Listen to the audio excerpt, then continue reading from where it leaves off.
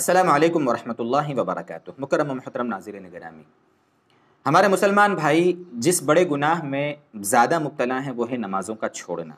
अल्लाह ताला खैर फरमा दे। अल्लाह ताला सारे मुसलमानों को नमाजी बना दे। पाँच वक्त की नमाज़ अहतमाम से अदा करने की तोफ़ी अदा फरमा दे। नमाज़ों में तो हमसे कोताही होती है। ख़ास तौर से फ़जर की नमाज़ में तो और ज़्यादा लोग कोताही करते हैं।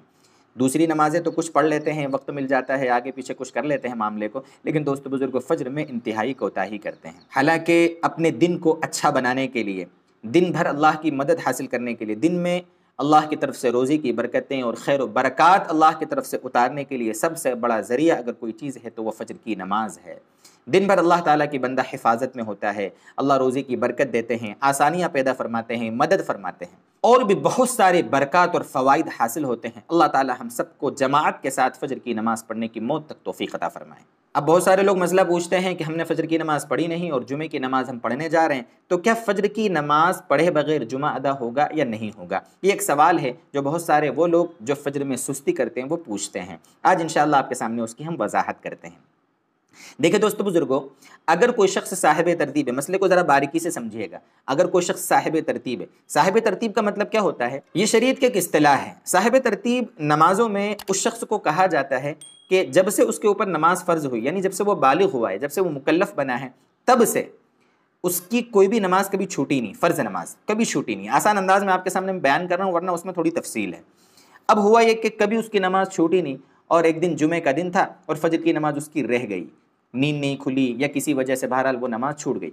अब वो जुमे की नमाज़ पढ़ने के लिए गया है तो उलमा ने मसला लिखा है ऐसे शख्स के लिए जिसकी कभी नमाज़ छूटी नहीं, कि अगर उसको अपना फजर की नमाज़ का छूटना याद हो तो पहले वो फजर की नमाज़ पढ़ेगा, उसके बाद जुमे की नमाज़ पढ़ेगा।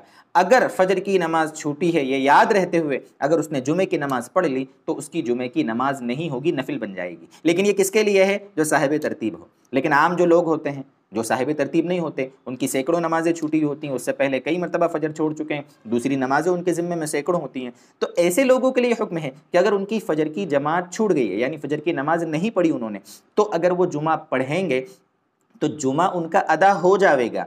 जुमा पढ़ने का उनको सवाब भी मिलेगा, उसमें कोई मसला नहीं है। लेकिन फ़जर जो छोड़ी है, फ़जर की नमाज़ जो उनकी फ़ौत हुई है, उनका, उनके ज़िम्मे गुनाह रहेगा। इसलिए ये फ़जर ही नहीं, बल्कि पहली जो हमारी नमाज़ें और छूटी हैं, जो सैकड़ों नमाज़ें हमारे ज़िम्मे हैं, दीगर नमाज़ें भी, उनकी भी अदायगी की फ़िक्र करना है और इस फ़जर की भी अदायगी की फ़िक्र करना है। लोग ये समझते हैं, जब तक हम फ़जर नहीं अदा करेंगे, तब तक हमारा जुमा अदा नहीं होगा, ये गलत है।